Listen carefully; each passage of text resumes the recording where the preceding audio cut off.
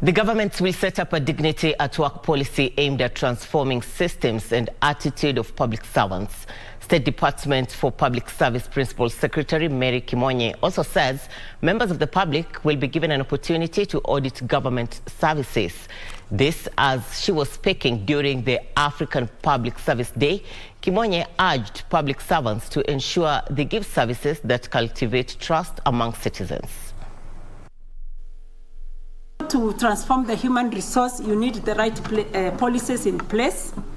And therefore, we have started uh, looking at our policies. And one of the policies we have developed to help in that area, and also to answer a very important question which was asked here about how we treat members of the public, is a policy on dignity at work.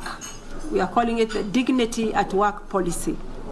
The Dignity at Work policy speaks to the environment of receiving and giving services, where we are saying the Kenyan citizens have a right to receive services in a friendly, welcoming, uh, and uh, dignified environment.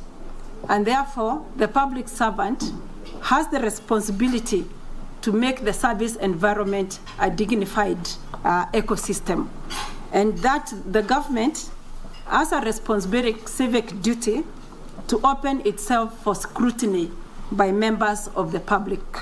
So we are telling every single servant, uh, public servant, that you have the moral and civic responsibility to make this country better. And the only way you can make it better is if you deliver services to the public with honor and with dignity.